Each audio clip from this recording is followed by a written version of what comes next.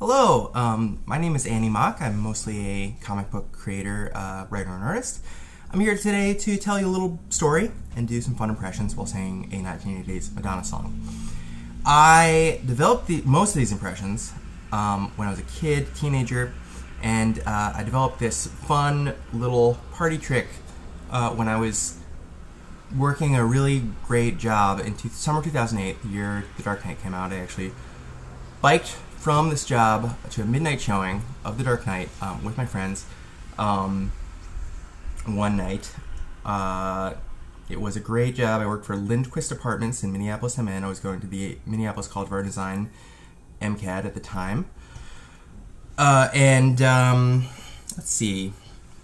It was a great job. It was a transitional housing facility for formerly homeless youth. So they were, you know, teens or kids, you know, about my age. I was about 20, 20 21 at the time.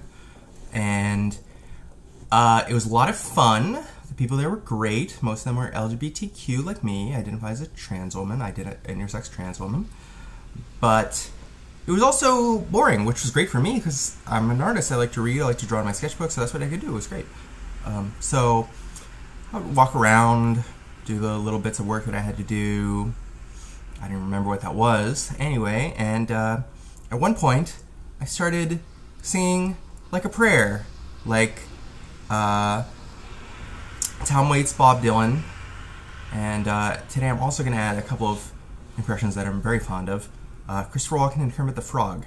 So enjoy. I'm not going to do any cuts. It's a fun little thing. I'm just going to say, well, I'll, you'll, you'll get the impressions. I'm not going to stop to say.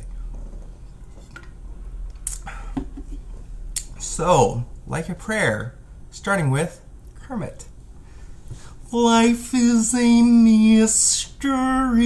Everyone must stand alone. I hear you call my name, and it feels like home. When you call my name, it's like a little prayer. I'm down on my knees. I want to take you there. In the midnight hour, I can feel your power, just like a prayer. I know I'll take you there. I can hear your voice. It's like an angel sighing. I have no choice. I hear your voice. Feels like flying.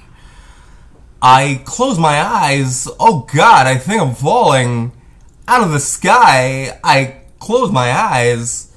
Heaven help me. When you call my name, it's like a little prayer. I'm down on my knees. I want to take you there. Two mice crawling out of the cream.